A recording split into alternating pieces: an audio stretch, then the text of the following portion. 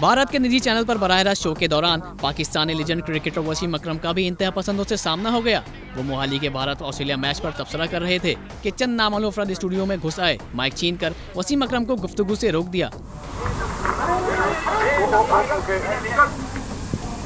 Show के मेजबान ये सब देखकर हक्का बक्का रह गए। वाक़े पर ना ही भारतीय हुकाम ने नामालूम अफराद के खिलाफ कुछ किया और ना ही वसीम अकरम की गुफ्तु रोके जाने की वजह सामने आई। を追いかけ